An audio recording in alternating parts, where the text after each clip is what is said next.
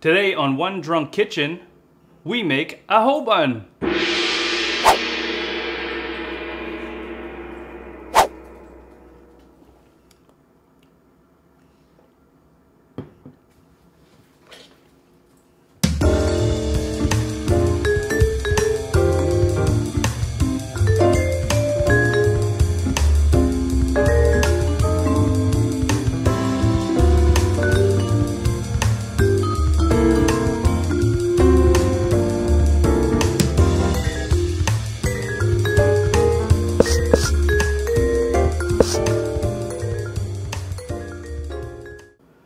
Did you know the history of the bun dates back to at least 30,000 years?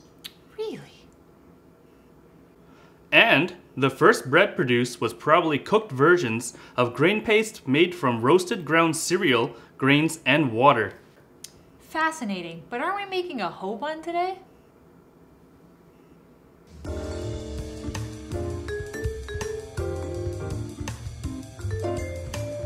So first, you'll need one egg,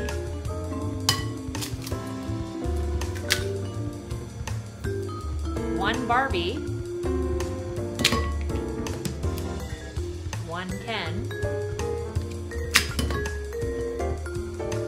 one cup of flour,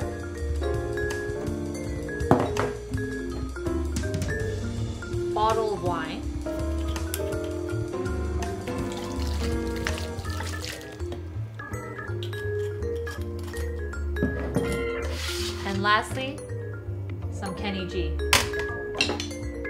Mix it all together.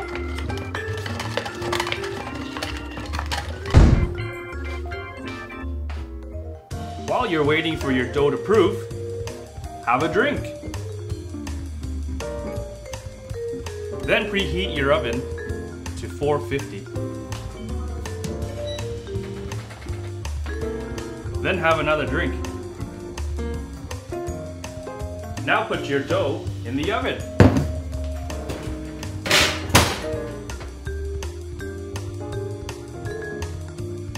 In nine months' time, it'll finally be ready.